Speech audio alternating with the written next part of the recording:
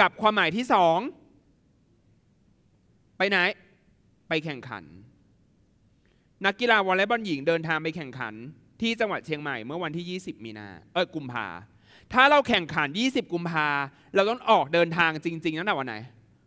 ก่อนหน้านั้นถูกไหมอาจจะไปสักล่วงหน้าสักหนึ่งสัปดาห์ ถูกไหมเพราะฉะนั้นเนี่ยประโยคนี้กำกวมไหมล่ะกำกวม พอไหวปะสู้ๆนะ ขอให้ทำได้ วันจริงสะกดจิตตัวเอง เราไม่ได้เจอข้อนี้ แต่แนวการทำข้อสอบแบบนี้เลย โอเคนะลูกนะขอให้โชคดีนะ ใครจะเจอข้อนี้ ใครที่ยังไม่ได้สอบ ใครยังมีเวลาเตรียมตัวไปขุดข้อสอบ 10 ปีมาทำท่านใครสำหรับใครที่ยังอยู่ม .5 10 ปีทำข้อสอบ ไม่ใช่ใช้เวลา 10 ปีในการทำข้อสอบนะ หมายถึงว่าเดี๋ยวกำกวมอีก เดี๋ยวกำกวมอีก หมายความว่าให้ทำข้อสอบย้อนหลังไปเป็นระยะเวลา 10 ฉบับนะอ่าข้อที่ 4 ออกอีกทุกข้อที่พูดในวันนี้คือออกข้อสอบใครที่จะสอบเดือนมีนาเนี้ยเจอแน่ๆ นี่คือเอาข้อสอบมาชำแหละแบบหัวข้อต่อหัวข้อเลยนะ ข้อใดไม่เป็นประโยค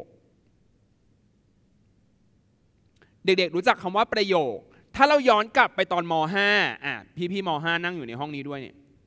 ม .5 เนี่ยเราจะมีการเรียนภาษาไทยบทหนึ่งคือส่วนประกอบของประโยคเรียนไปยัง เรียนไปยังคุ้นๆไหมที่เราจะบอกว่าเจตนาของประโยคจะมีแบบมีแจ้งให้ทราบใช่ไหมมีลิกมีถามให้ตอบและมีลิก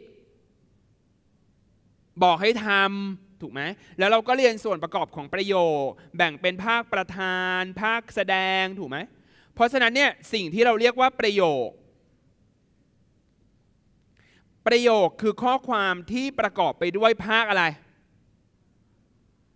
ประธาน และภาคแสดงอะแสดงหรือกริยาก็ได้อะภาคประธานและแสดง นะครับประธานและแสดงหรือกริยานั่นเอง